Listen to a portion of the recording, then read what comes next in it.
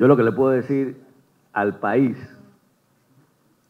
es que bajo la presidencia de Nito Cortizo, nosotros no vamos a estar pinchando de manera ilegal a nadie. Eso se lo puedo decir a ustedes con claridad. Sí hay pinchazos los judicializados que le llaman, pero desde el punto de vista de estar averiguando qué dice una persona, qué dice otra persona, nosotros estamos es para cumplir los compromisos que adquirimos con el pueblo panameño.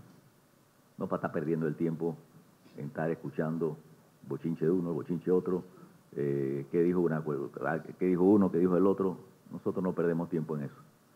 No perdemos tiempo. Créanmelo que yo no pierdo tiempo en eso. Y además, no lo permito. Una, el tema de la relación ejecutivo, el tema del Ministerio Público, usted se refiere obviamente a procuradora.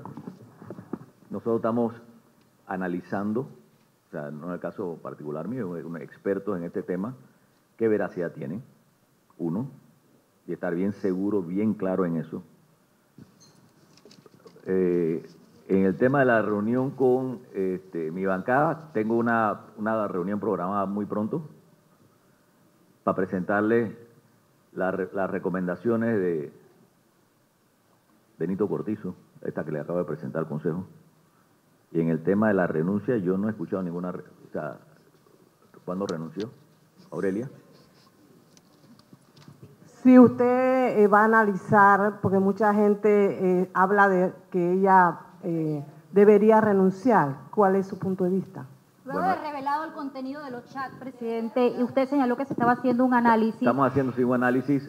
si ella debe renunciar o no renunciar es un tema muy personal de ella. ¿No se la pediría a usted?